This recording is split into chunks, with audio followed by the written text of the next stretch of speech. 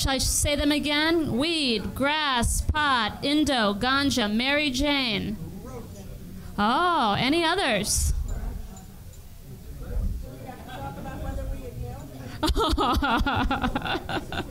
well, I will tell you, um, there were over 100 names for marijuana. And, I, and in preparation for tonight's meeting, I decided to go to Central America, right, on a field trip. I actually was in Central America on Monday, and technically in Nicaragua, marijuana is illegal. But I will tell you from what I saw and what it seemed to be, if you had the right amount of cash, you were the right nationality, or the right skin color, people would just look the other way. So, very interesting culture there. I also had a lot of time on the plane, and now there's Wi Fi on the plane, and I had a lot of time in airports to do a bunch of research. And I did get to see the Sanjay Gupta special, which I would recommend everyone go and see if you haven't done so already. But I also got a few fun facts. Let's see if you guys have heard these ones. In 1619, the Virginia General Assembly passed legislation requiring every farmer to grow hemp. Hmm, interesting. In the 1900s, Mexican immigrants introduced recreational use of marijuana in the United States. In 1931, for various reasons, some reasons you'll hear about tonight, 29 states outlawed marijuana. In 1996, California legalized medical marijuana. And today, as of today, marijuana is legal in some way, shape, or form in 20 states and in the District of Columbia. So the question we have on the table today is it good or bad to legalize marijuana? And really, who does it impact? We are privileged this evening sorry, to have Ed McCann from NORML, Debby Taylor from the Phoenix House, and Kate McCauley from READY to help us answer these questions and really to have a broader discussion. So, first up, we have Ed McCann. He is the director of NORML, which is the National Organization for Reform of Marijuana Laws. He ran two dispensaries in Los Angeles. I bet you have some good stories about that. And he is a linguist by background and works as a software engineer. Please welcome Ed.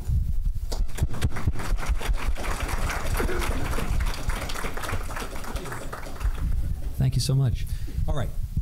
Thank you, everyone, for coming out tonight and for inviting Virginia NORML to be a part of your program. We really appreciate it. Um, I think this signifies that the cannabis movement in Virginia is making progress and that we actually represent mainstream public opinion on the issue. Um, before we start, let's see a show of hands. Who supports legalization? Come on, don't be shy. It's the majority of people. I don't know. Fair enough. That's why you're here. Excellent. Thank you, guys. So, I'm going to talk tonight about three main things. First, why is cannabis prohibition bad? Why is legalizing cannabis good for Virginia? And then address some of the common fears that people have about a legal cannabis market. The criminalization of cannabis since 1937 has, has been a disaster. In a nutshell, it costs an enormous amount, it doesn't achieve its goals, and it leaves our citizens worse off. It's expensive, in the, to the tune of 65 million to 125 million dollars a year, at least in Virginia. Uh, that's spent to arrest, prosecute, incarcerate, and supervise marijuana offenders. About 90% of those are for possession only. Sellers and growers routinely receive multi year prison sentences, while in other states, they are now earning an honest living and contributing to taxes. But according to our Virginia lawmakers, the money and manpower committed to controlling marijuana use greatly exceeds its social costs or potential for individual harm.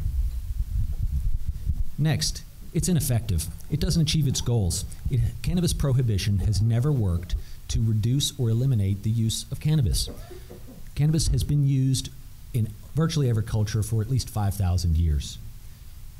And it was probably, very possibly, the first domesticated plant.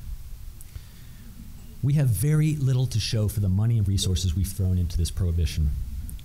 The law and all those millions of dollars have never and will never prevent anyone from using, growing, or selling cannabis.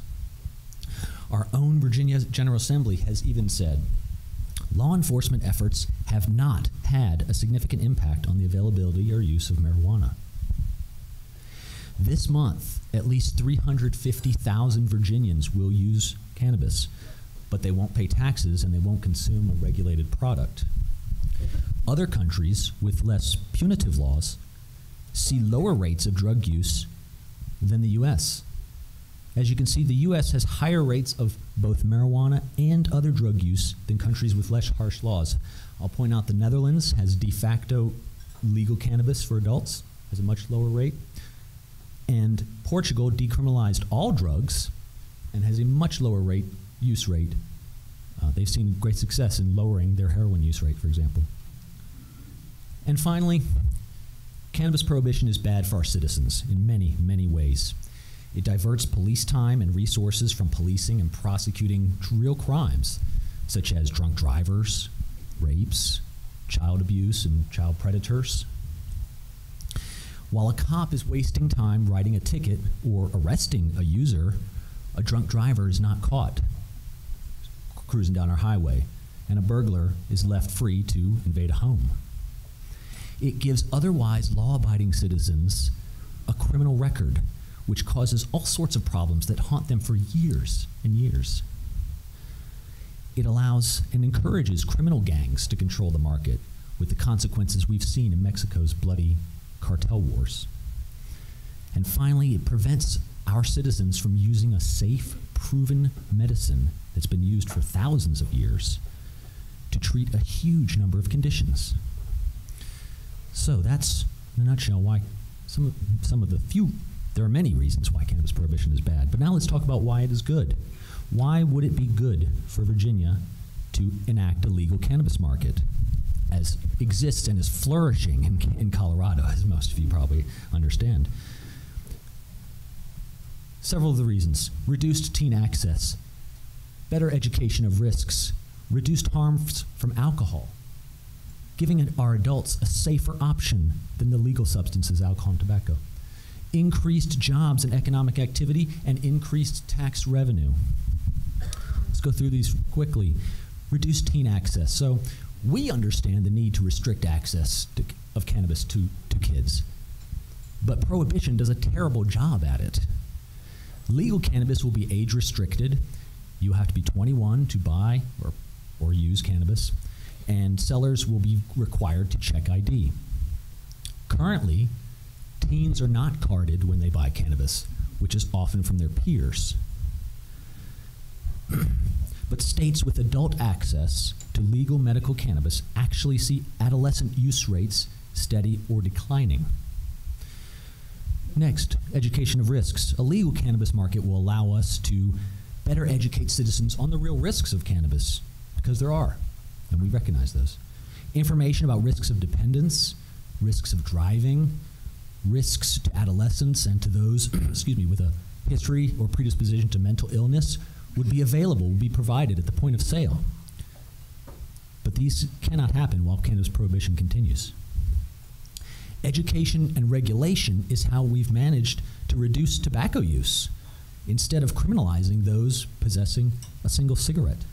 As you can see, legal alcohol and tobacco use have dropped significantly for teenagers, while marijuana use has gone up and down but is now higher than tobacco, which is regulated and which is illegal. Next, reduced alcohol harm. In states with legal medical cannabis, traffic fatalities have been reduced, as well as suicides, especially in young males. Research suggests it might be a substitute for alcohol, and if it is, we will see a reduction in alcohol related harms.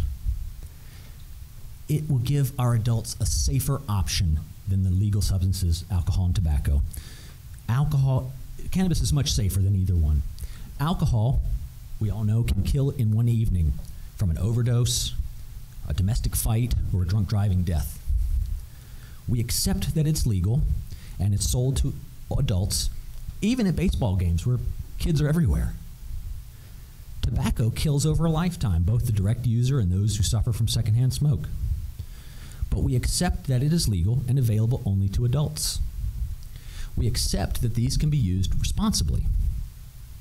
Making cannabis legal isn't adding a vice because it's already so prevalent, but it's giving adults a safer option because cannabis is much more benign to the user and to society. Dr. Besser is a pediatrician and father of two teenage, two teenage boys. He went into looking at cannabis legalization with the idea that, of course, it should be illegal. But once he looked at the arguments and looked at the medical evidence, he found and changed his mind, like Sanjay Gupta.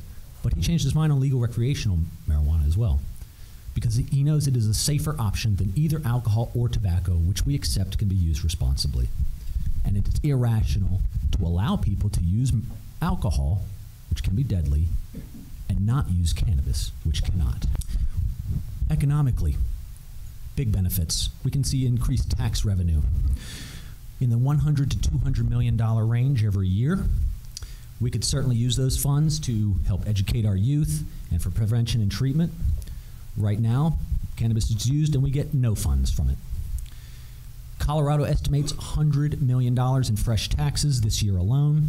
And keep in mind that cannabis users are the only ones asking to pay more in taxes. and finally, it will increase jobs and economic activity. Colorado reports that it will have a cannabis legal recreational market of $600 million this year alone with a smaller population. Jobs will be created in many different industries beyond growing and selling. It will have a ripple effect on the economy. Finally, I want to address some fears. Some common fears about legalizing marijuana. And that's driving, the gateway effect, potency, and message to kids. Driving. Cannabis can impair driving, and NORML supports efforts to reduce that. However, it doesn't impair driving nearly to the extent that alcohol does, and to the extent that people use cannabis instead of alcohol, driving deaths will fall, as they have in states with legal medical cannabis. So called gateway effect. This has been debunked years ago. As our Virginia legislator said in 1979, there is no evidence to suggest that marijuana use necessarily leads to the use of other drugs. And although people who use stronger drugs usually have previously used cannabis, that doesn't mean that cannabis caused them to seek other drugs. Alcohol use is the better predictor of future drug use. Cannabis can actually be considered a terminus drug because most of the people who try it don't use it regularly, and those who do rarely use anything else. Potency. Cannabis has always been available in various potencies from Afghani hash to Jamaican ganja to West Coast wax. The stronger the cannabis, the less someone uses, similar to beer and liquor. Stronger cannabis is not more dangerous because cannabis in any strength is not fatal. Legal, synthetic, prescribed Marinol is 100% THC. And finally, the message to kids. This is one of the important ones that people always harp about. Message to kids. What are we saying if we make this legal? Our message to kids is do not use cannabis. It is an adult activity. Our message is clear and unambiguous. Just because something is legal for adults does not mean that children should do it. It can affect the adolescent brain, and kids should be doing homework and playing sports and playing music. It's the same message that we give for alcohol, tobacco, and sex. Wait until you're an adult.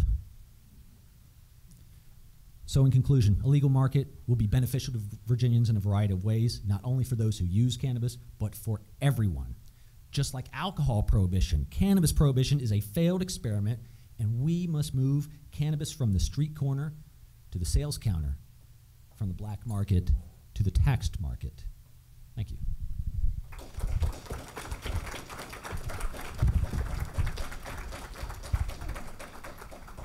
All right, let's give Ed another round of applause. Thank you, Ed.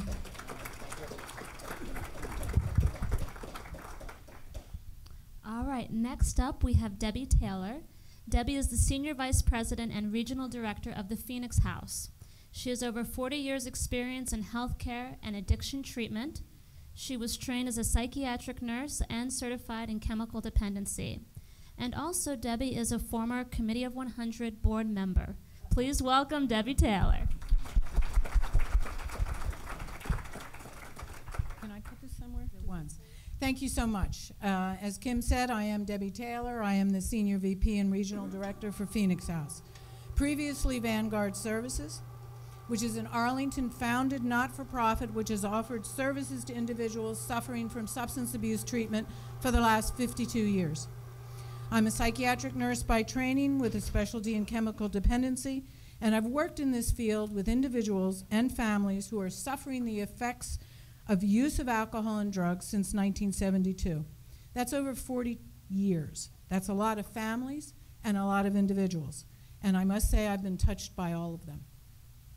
I entered the field as a child of the 70s, those of you who remember, uh, thinking we could end this problem with drugs, as kids and adults just needed to learn about the dangers of overuse so they could control their use and therefore the negative consequences.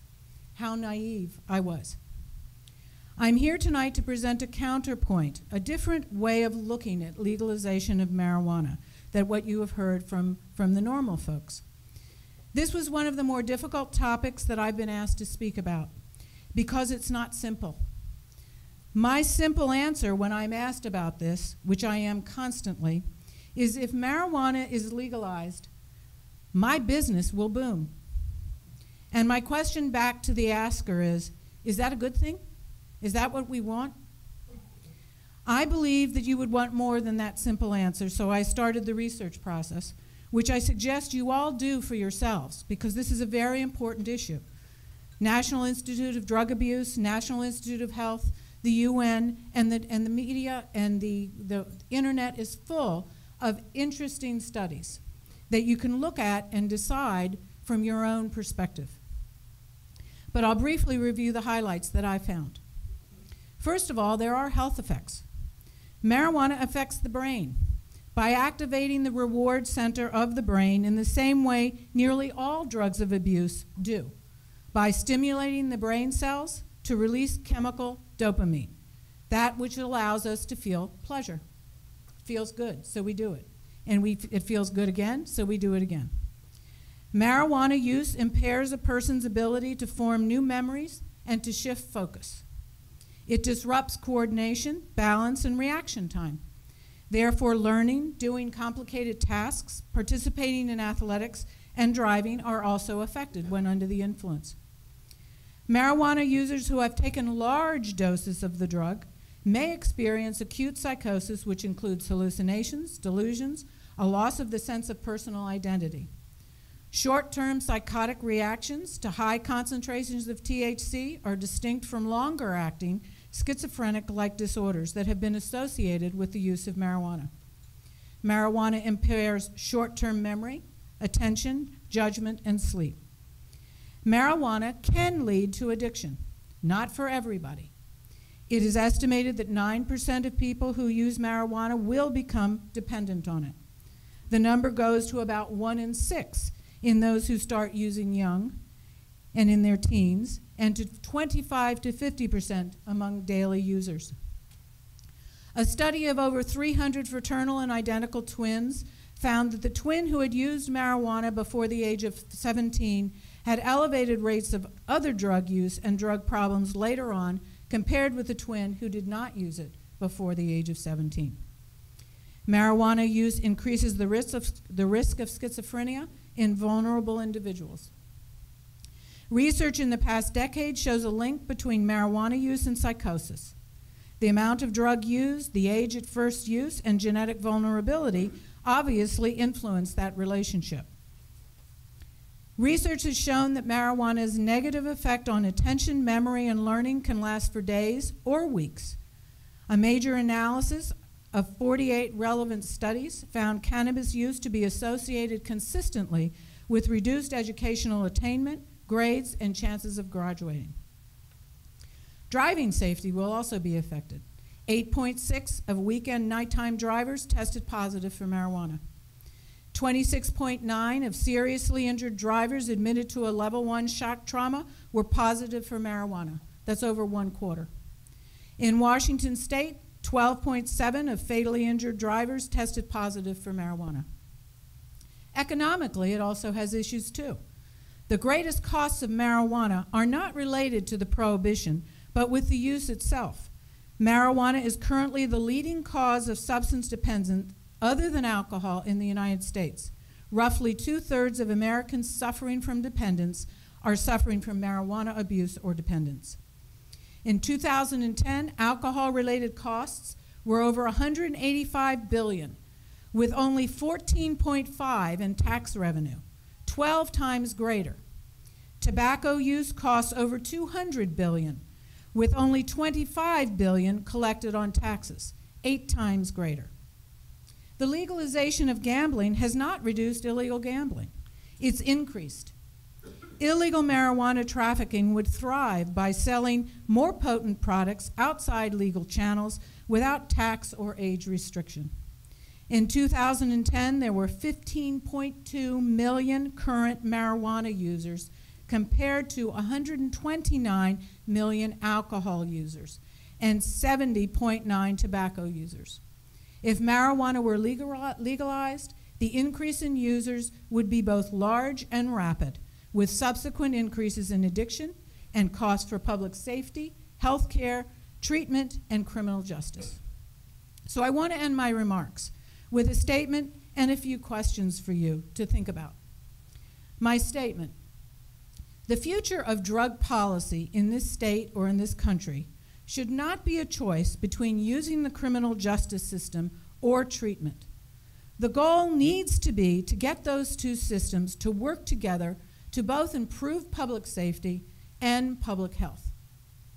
My questions is based on what you have heard tonight and other things that you have heard from, from stories and your own research. Is legalizing marijuana going to make this a worse country or a better one? What is the value that marijuana brings? Would you want to live in a neighborhood filled with people who regularly smoke marijuana? Would you want your kids or grandkids regularly smoking marijuana? Now is the time to think about this seriously because it's easy to legalize marijuana. Yet, when things go predictably wrong down the road, it will be a lot harder to put the genie back in the bottle. It's bad enough that we lose so many Americans to cigarettes and alcohol related injuries, crimes, alcoholism, and drunk driving. Do we really want to endorse the loss of millions more potentially healthy, productive Americans via marijuana? I have to say, no, I don't. Thank you.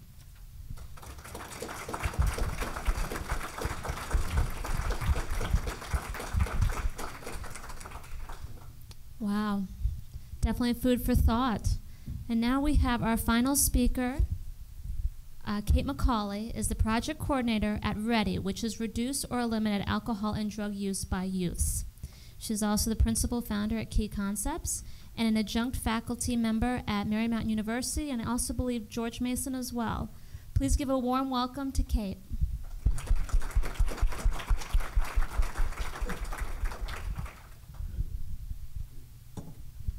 Thank you, Kim. I'm a little nervous. So many important Arlington people here. So I'm going to try and watch my time and make sure that I say the things that are going to be useful. I have the advantage of not discussing the pro or the con on this.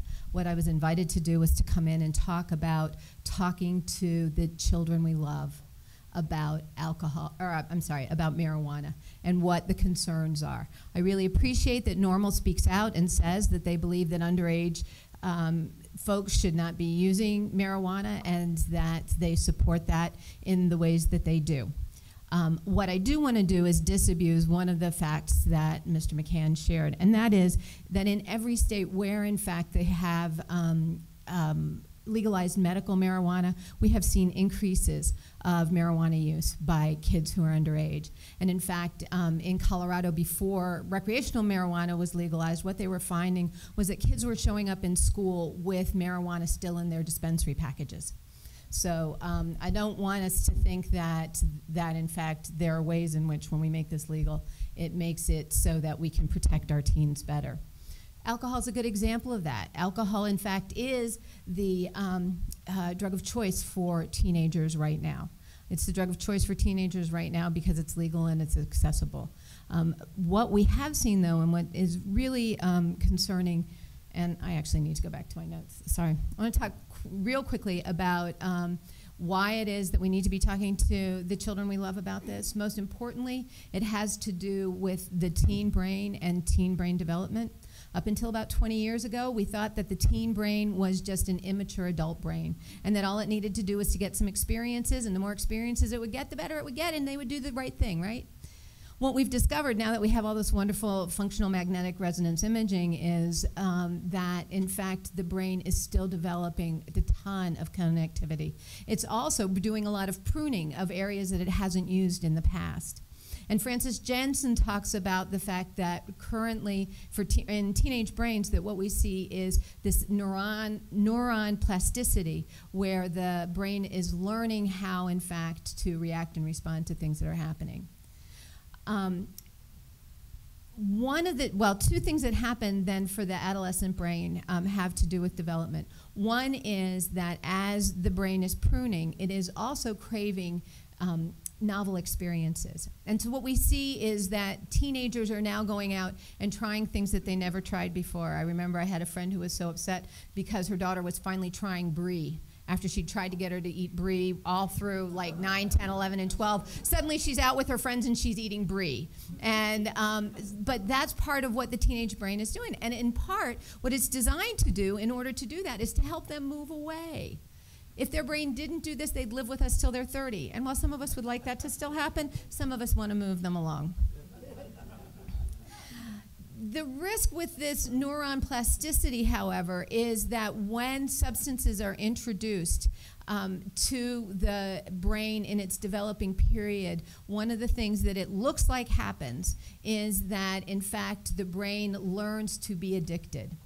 We know this for alcohol. It looks like it for um, marijuana and for other drugs as well. So that when a developing brains, brain gets introduced to these substances, what it learns to do is to prefer them and to look for them and to habituate them in such a way that they can't that teens can't feel normal without having the substances in their brain. And that part of what the research is telling us, in fact, is that when the younger the age, and, and Debby sort of said some of this, but what I want to say is that all of those things that Debby was talking about, just quadruple it when we're talking about teenagers. So that the earlier that teens introduce marijuana into their brains, the more likely it is that they're going to have experience with, um, with um, substance abuse and dependence and addiction. And so it's really, really important that what we're doing is doing the things that our kids need us to do, the children that we love need us to do, to help them to not use alcohol, marijuana, any of the other drugs. Um, peer pressure is really important. I say this to parents all the time. Peer pressure is so important. Again, it's what helps them move out and keeps them from staying with us until they're 30. However, one of the things that I think a lot of adults believe is that peer pressure is more powerful than the influence of loving adults, and that is just not the case. Consistently in the research, we see that children who have adults in their lives who are giving clear and unambiguous messages about substance use and about other risky behaviors, for the most part, are making choices not to engage in those behaviors. We have those few outliers, those risky kids that are going to try stuff anyway. But in, in most cases, what we know is that kids who have clear and unambiguous messages, and that's not, don't do anything I wouldn't do. That's saying, we expect in our house, or we expect of our grandchildren, that you're not going to use alcohol, that you're not going to use marijuana, and that you're going to find ways, and you're going to let us help you find ways to not get engaged in that kind of behavior. Um, the other part about brain development that I wanted to mention is that the last part of our brain to develop is the prefrontal cortex. That's the part up front here. I know all the scientists out there know that. For those of you who haven't read the millions of articles that have been in Time and Newsweek and everything else out there, the prefrontal cortex is the part of the brain that does judgment and decision making. It's the last part to develop. The American Academy of Pediatrics now identifies that they accept patients up until the age of 25 because the um, human body is still developing in that pediatric and adolescent way up until the age of 25, particularly the prefrontal cortex. So one of the things that we see is that those kids who are, have the developing brain with the neuron plasticity also have limited judgment. It's why they make the poor decisions that they often make as a part of being stimulated for novel experiences, blah, blah, blah, blah, blah. And when we say to them, Why did you do that? they will make up something, but they really don't know why. And it's because their brain is still developing, which is not a good enough excuse, let me just say. As a mother of two teenagers, my brain is still developing is not the reason that you get away with things. The other thing that I want to mention is that the psychological process for, um, for teenagers in development has to do with both wanting to stand out and fit in. And so there's a lot of pressure that our teenagers experience when they're exposed to opportunities to take risky behaviors. So a lot of conversation about the difference between hot and cold cognition. I'm going to run out of time, I know this. Um, between hot and cold cognition. Cold cognition is so when you say, So if somebody offers you a drink, sweetheart, what is it that you're going to say? And the child says, I'm going to say no, thank you. And the child absolutely believes that that's the case until somebody comes up and says, Hey, you want a drink? Now it becomes hot cognition, and it's so much harder, and they can't anticipate it until they're in the experience. So um, I, I, do want to talk about what um, the changes in the country around medical marijuana and legalization have meant in terms of Arlington. What we've seen in the last three years um, in our data, and uh, I think many of you know the Arlington Partnership for Children, Youth, and Family collects data um, from our uh, sixth, eighth, 10th, and 12th graders, what we've seen is some really concerning trends. Where we were seeing really a flat line in terms of marijuana use, we're now seeing an increase in marijuana use over the last three years. Where we were seeing um, perceptions of harm remaining relatively um, stable in the last three years, we've seen them crash. Perceptions of harm have to do with whether or not teenagers think that marijuana is dangerous. What I'm hearing anecdotally from parents is that their kids, when they get caught using weed, are saying, well, at least I'm not drinking alcohol. So we've done this really good job of helping kids understand the risks associated with alcohol. What doesn't happen is their understanding of the risks associated with marijuana. The other thing is that we're seeing a moderate decrease in children's perceptions of parental disapproval. As we're all struggling with where we stand on the um, legalization issue, as we all talk about not wanting first time users to go to jail, which by the fact most, but let me just say, most first time users don't go to jail. There we go. Exactly. Um, we, um, our kids are hearing our own ambivalence, and they're not hearing us say, our expectation is that you're not drinking, you're not using, and you're not taking risks. So, what I want to do real quickly is just talk about how many minutes do I have left? One. Start and keep the conversation going. Um, these conversations seem hard the first time. Once you have them, once you have your first conversation, actually, what kids tell us is that it increases the trust levels. It doesn't decrease them. Kids want to hear this. My husband and I were talking about me coming tonight to my 16 year old last night. We said, What is it that you think is important to say? And there were two things that, that he said, and I'm going to out my husband on this. My husband, who did um, have experiences with marijuana when he was in college, one of the things that our son said is, you know, Dad, when you talk about how you regret what you did and the fact that you feel a little embarrassed when you talk about it, that talks to me about why it is that I don't want to use marijuana. And the other thing that he said, and we have a green handout, I'll put it, I'll show you over there, that has answers to sort of all of the things that kids frequent, not all, but many of the things kids frequently say. The other thing that he said is that, Mom, when you say to me that um, when, how do I say this? When people say, um, I'm not planning on being a pothead, I just want to try it. My response has been I've never met anyone who started out wanting to be a pothead. And yet we see people becoming potheads, and we can't predict who's going to be a pothead. And so, at least for my son, that has been a response that's been useful to him. Um, remain calm, make sure that you're comfortable having the conversation. Do it without judgment, be willing to talk and to listen. There are lots of ways to start this conversation. The best way is to talk not about what are you doing, but what is it that kids these days are doing.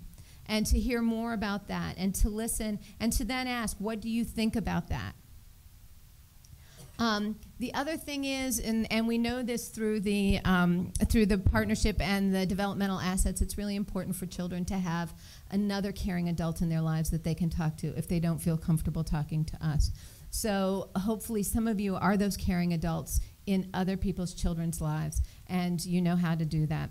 The last thing that I would just share is um, a quote that I've sort of um, played with a little bit that came out of Time magazine. If you're tempted to drink alcohol or smoke pot, please let's talk about it. I want you to hold off while your beautiful brain is still developing. Thank you all very much.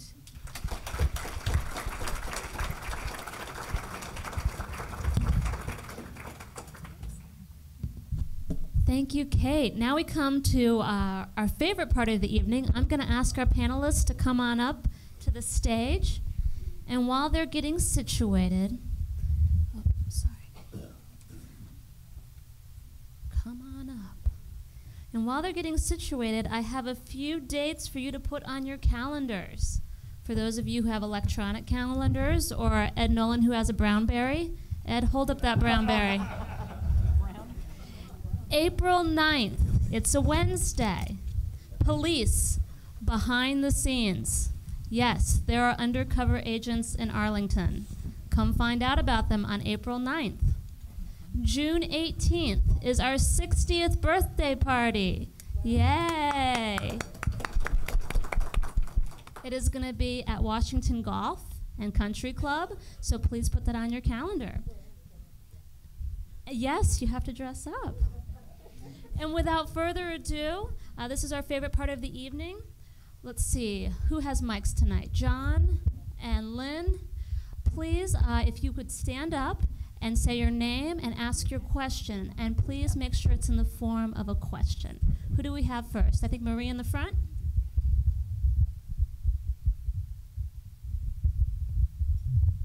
Um, I have a question, uh, Marie Shum Brady. Uh, what else did you want me to say? I guess.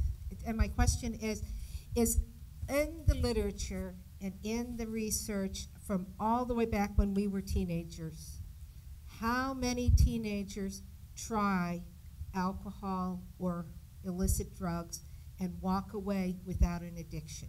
If we want to get this in perspective, we got to look at how many people try it and walk away. How many people try it and are hooked because they were going to get hooked on something anyway because they have an addictive personality. Um, the research that I cited that comes from the National Institute of Drug Abuse and the National Institute of Health will tell you that a teenager, one out of six, um, will develop a, a, dependence on, on a substance. So five of the people would not. So it's one out of six. One out of nine if they start later in life, and 25 to 50 percent if they're using daily. So it, it becomes, you know, with the amount, it becomes much greater with, with marijuana. I just wanted to sort of echo uh, the part that Debby said about the importance of delaying um, use because what we see is that um, kids who start using alcohol, marijuana, any of the substances before the age of 16 have a 75% higher chance of developing an addiction later in life than those who postpone until age 21. Um, okay. Uh, more people become addicted far more to uh, tobacco and alcohol in, in a percentage wise than do to marijuana. Uh, I, I think the if, if the rate is 9% develop a, a, dependence on marijuana, then the rate is uh, 15% of, of alcohol and probably 29 to 30 percent for tobacco. So I think uh, I'm, I might ask my colleagues if that's approximately right.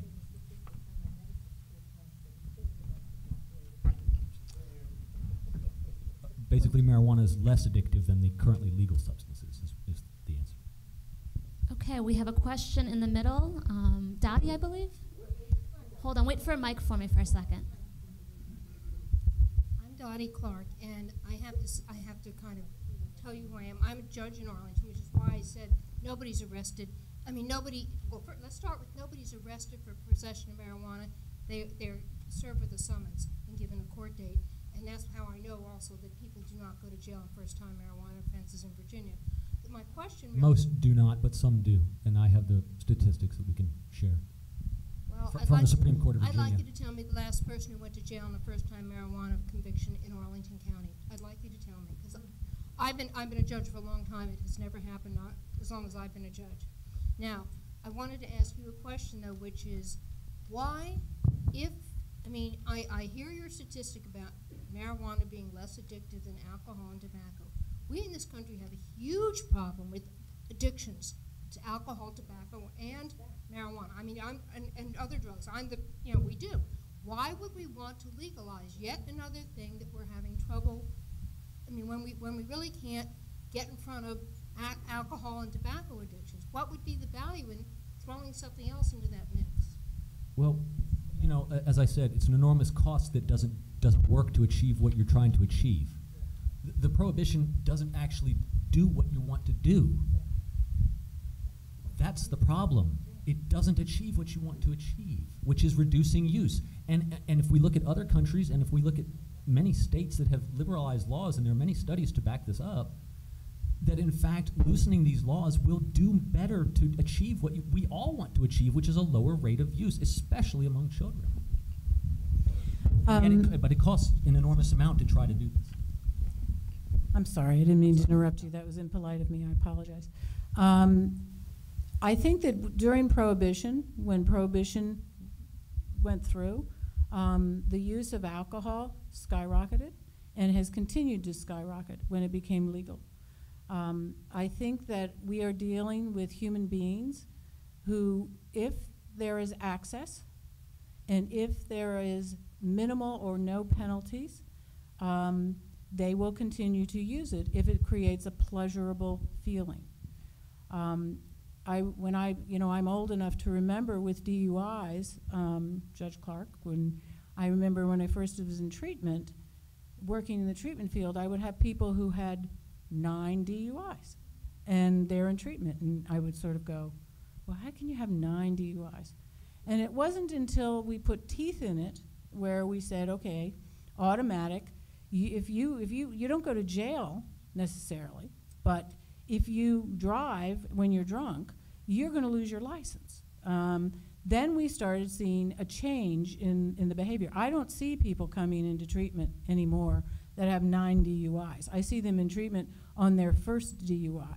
Um, and in their second DUI, they, they're, they're doing weekends uh, in, a, in, a, in something. So there's some teeth. There's some smart, consistent penalties. Um, because I think that access equals use increase. And that's the problem, and that's the dilemma that we as a, as a country and as a community have, have to deal with. So, th- one of the things that I'd like to say, because as, as I've been working in the prevention field for about 15 or 20 years, not the treatment field, but doing the prevention work, when what I hear is people who are interested in legalizing marijuana or decriminalizing marijuana, which feels very euphemistic to me, when they say it's safer than um, alcohol and tobacco, that is a very low bar.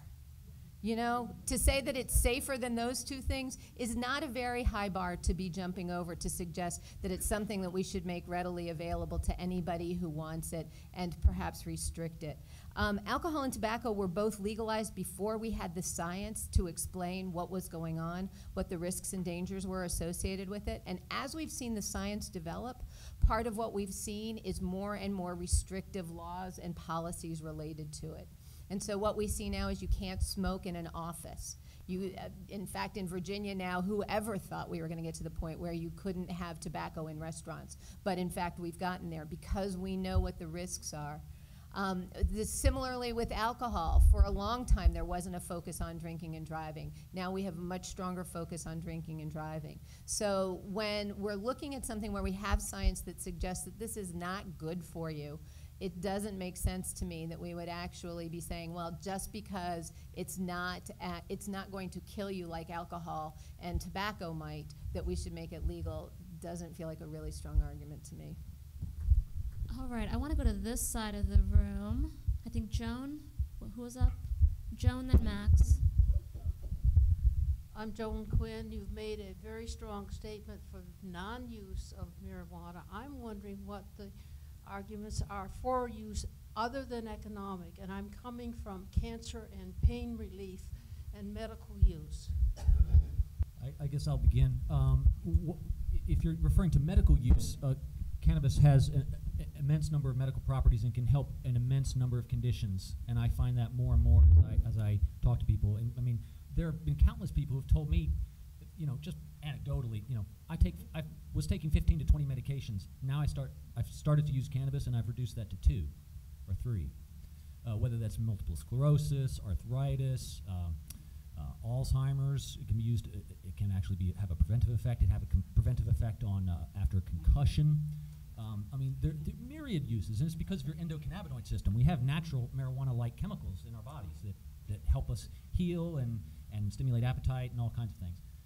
And um, but that's just the medical reason. And for cancer, of course, it can help mitigate uh, nausea, can help stimulate appetite, uh, and in fact, we're finding um, not only THC, the main ingredient, but CBD and other cannabinoids can actually help shrink tumors, um, and actually, you know, I, I can't say that it's curing cancer, but there are an awful lot of studies going on to see how it can be used to treat cancer primarily. Uh, there are other reasons why people use cannabis non-medically. Uh, they may be for spiritual reasons, they may be for emotional, they may be for pure recreational, like someone has martini. Um, they may be for social reasons. They may be because they have social anxiety, and it helps them, you know, relate to other people a little better. It may be to help them enjoy a movie. Uh, frankly, um, so there, there are many reasons why people have used cannabis for 5,000 years. So, um, just a couple of remarks that I would make um, with regard to that as a twice cancer survivor myself. Um, one of the things is, is that the American Medical Association has not yet been able to wrap its its own arms around um, the idea of medical marijuana. I think part of it is is that in fact there haven't been enough studies to be able to look at it. Marinol is available, um, and it is available by prescription, which is, as Mr. McCann mentioned, um, full THC. I understand that not everyone can consume Marinol as a pill, um, but smoking it isn't necessarily the um, the way to bring it um, to bring it on. And now I've lost my second point. Did you want to say something? Uh, that's right. Smoking is, is probably a, not a preferred way to ingest cannabis. You can use it on your joints for arthritis as a topical, uh, for bee stings, all kinds of things, eczema. And, um, and vaporization, of course, is the main, and eating, of course, is a very common way of using this medication. Um, uh, there are have been thousands and thousands, approximately 20,000 studies over the years. It's one of the most studied plants and medications on earth. It is false to say we do not have enough medical science to determine if this is a medicine. And that's partly why 20 states, um, including some legislatures, have legalized medical cannabis, including Virginia, which has a medical cannabis statute saying you can use it for cancer and glaucoma. It's only by prescription, which is not allowed by the federal government. But if that were not, were not the case, we would have medical cannabis here in Virginia already by law. Um, I'm sorry, the other thing that I just meant to mes- mention is that part of um, the medical marijuana, with the exception of Marinol, is that um, physicians have um, not had training and um, and there's not been enough distinction about dosage and how it is to ensure that the right amounts of THC are getting to patients in the way that it needs to get to them. Okay, I believe we have Max and then Ann and then Michael. Hi, I'm Max Scruggs. Um, it seems to me that the sense of, of what I hear tonight is that, that there are a good many people in here who would support, uh, who would advocate the use of poison for their children or their grandchildren. I cannot believe that all the bad things that are caused by these drugs to the body, to the brain, for example, alcohol destroys parts of the brain. Hey, Max, do you have Yes. a question? Why in the I'm sorry. um, I'm just, I just can't believe there's so much support for such so many bad things that, that happen to the body. Okay, I think uh, Ann. I actually wasn't going to speak because I know this is going to be on TV. And I raised six children in Arlington three boys and three girls, one of which was doing super till they got in a hole in college, and I sent the other five and my husband to go get him. Being a child of the 60s, which I was, this is the exact same conversation that they had back then and how much better marijuana was than alcohol. Now, my mother, who had a glass of wine maybe three times in her life, is not one of those uh, conversations where it became addictive. My father, on the other hand, I can't say that. To think that we're having this conversation again when I have lost a number of friends, and two of which were my godsons to murder over marijuana. To say that being legal would have saved their lives, I, I, I can't believe that. I want to know how many people who've started marijuana and low doses have just stuck with marijuana. That would be a good number to know.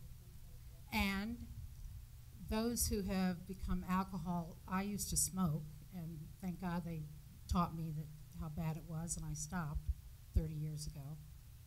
Some people do learn from being educated. But to think that we are asking Arlington to agree to another drug would be insane to me. So maybe the question on um, marijuana and whether or not people stick with marijuana or move on to something else. The answer is ninety percent. If we're looking at nine percent as the rate at which, that's addiction, is that right? That's not use. It's addiction. Or move on to other drugs. Yeah. I, I mean, it's the vast majority. It's, you know, it's, honestly, I don't know the figure, and that's a figure I, I need to look up. Uh, You know, I don't know that legal cannabis would, would have saved your children, and I'm, I'm sorry to have to say that. I, I don't know. Um, You know, there, there probably always will be a black market, unfortunately.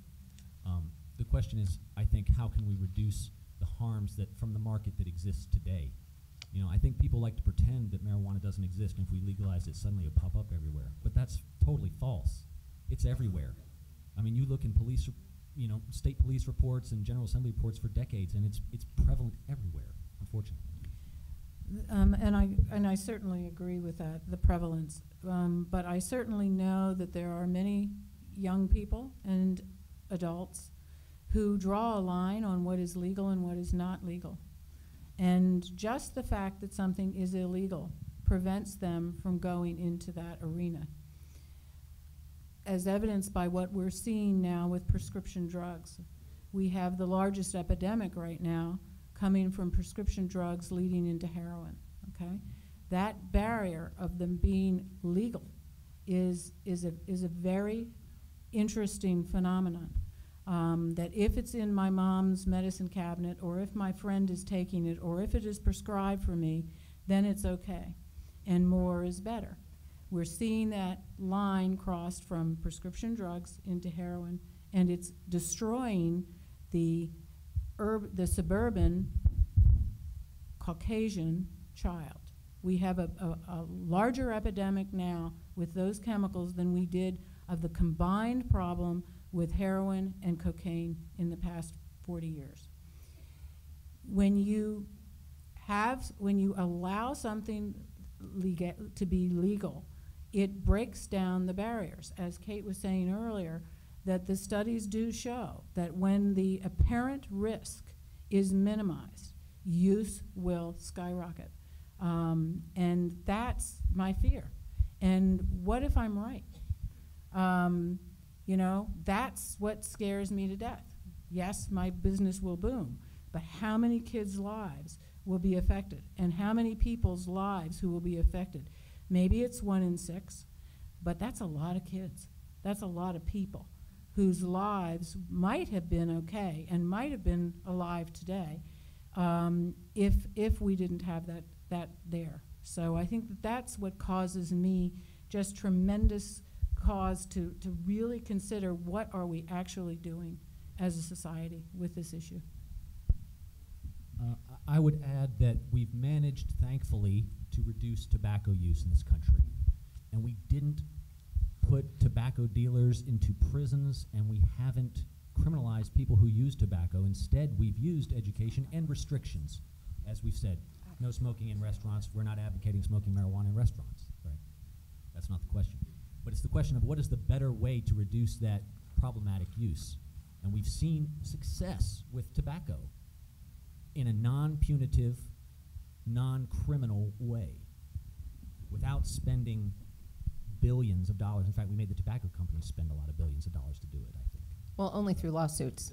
True, And true. uh, Kicking what- and screaming, true. But And what I will also say is that, again, that continues to be a low bar when we talk about tobacco. But CVS has just recently come out and said that they will no longer be selling tobacco because of the risks that are associated with it. And so um, it'll be interesting to see what happens with the black market when people can't walk into a CVS and easily um, or cheaply access their tobacco.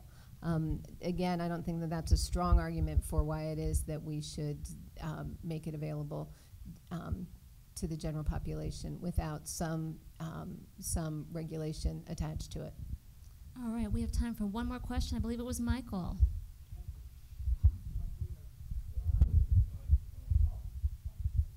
Dr. Mike. My name is Mike Weiner. Both a personal and perhaps semi-legal question. Uh, we know that alcohol uh, can be measured in the bloodstream fairly accurately, even though the, the effects may be less than, than what you can measure.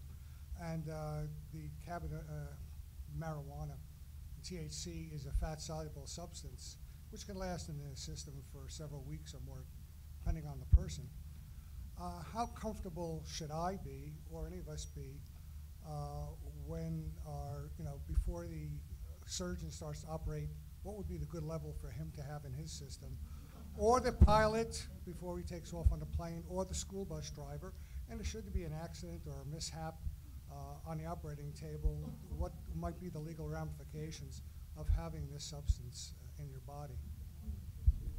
That's a, that's a great point, and one that's going to be very, very difficult, because you are absolutely right. If you are a, a very casual user and use a small amount of marijuana, it can be out of your system in two, two days.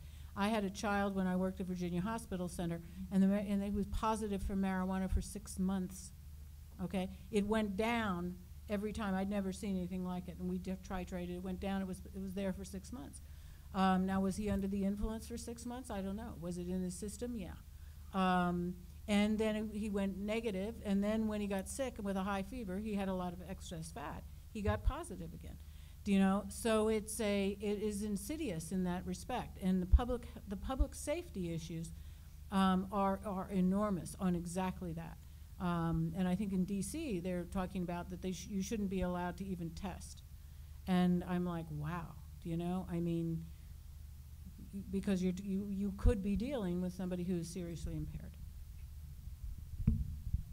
I think in uh, Colorado and Washington both have a five nanogram per milliliter blood level limit. Um, uh, but as pointed out, levels can vary. An experienced user may have 20 times, 10 times that level and, and not have consumed that day and, and not, not be measurably impaired as, as measured by driving test. Um, so, so it's difficult to say. Um, I do recall, as a kind of an anecdote, um, I think it was CNN um, did a just after the legalization vote or after the New Year or something in Washington State did a driving test, and uh, the person who did the best was the most experienced, most chronic marijuana user who drove after smoking quite a bit of marijuana. I was even surprised, and the and the cop who ro- rode along with her said, "No, I probably wouldn't have pulled her over." Um, that's not to say that we should drive under the influence of cannabis. Absolutely not. Uh, to the effect, to the extent that we can have a measurable limit, uh, NORML would support that. To the extent that it's a unreasonable limit, we would not. To where drivers aren't impaired but still have something in their system. Uh, but we do not want people driving while they are impaired. Absolutely not. Or, or any surgeons, airport, you know, anything. but that's not stopping people now. So watch out for your, you know, during your kn- knee replacement or whatever. Just kidding. Just NIDA and NIH are recommending one nanogram per, per milliliter. yeah, so, um, to, to suggest that there is no impairment. So five is five times that. Well, a lot of food for thought and not necessarily brownies tonight, right? I really want to thank our speakers. Thank you, Ed. Thank you, Debby. Thank you, Kate. This has been a great program.